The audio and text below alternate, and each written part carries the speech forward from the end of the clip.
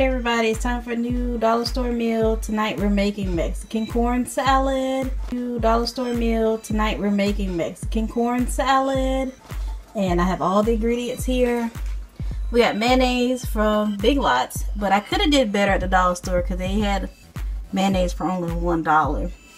Also, I got for the uh, Big Lots these can of jalapenos.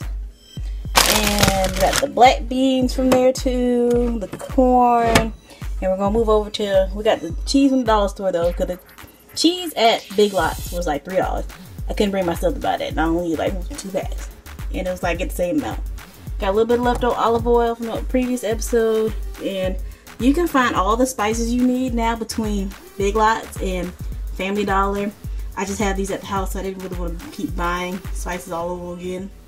But um, I got I found this chili powder though at Big Lots, and these just all these you can find garlic powder, paprika, cumin at Family Dollar or Big Lots. And the last thing we're gonna do is I'm gonna chop up this pepper fry to be in the mix. But we're all gonna make it's all gonna be done in this one big bowl. I drained and rinsed my black beans two cans of corn.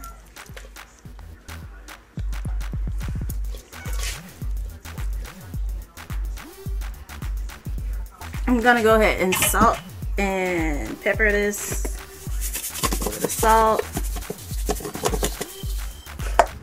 Okay, I went ahead and chopped up my pepper fry so it'll be smaller bites for people to eat. Now I'm gonna add, I added a little bit of chili powder to the mix. Got some garlic powder.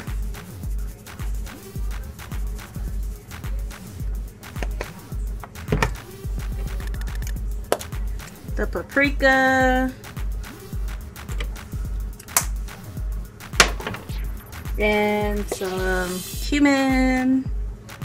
Not a lot though, because cumin makes really smoky tasting. Um, Alright, need a half cup of mayonnaise. I'm eyeballing this. There's also has olive oil in it, so I'm not going to add too much more olive oil to the end of this. It's about half cup. Alright, the last thing I'm going to add is some chopped up jalapenos.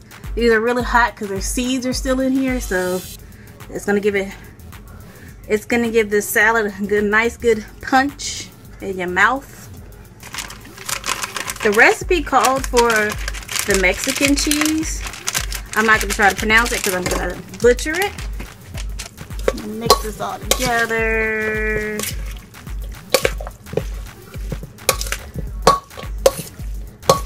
Make sure everything gets incorporated together Looks pretty good. Look at all the different colors. Mighty good. Do a quick taste test, see if it needs anything else.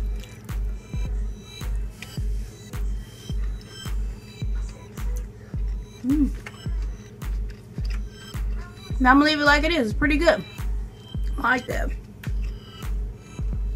But feel free to add anything extra after you taste it because doing this to my liking. You might may want to more spicier.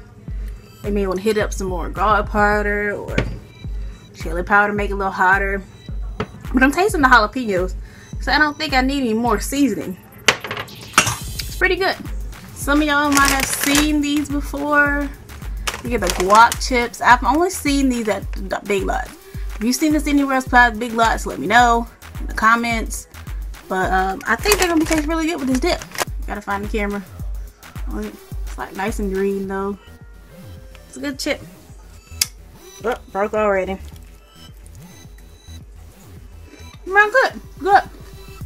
I like it. Two thumbs up for this recipe.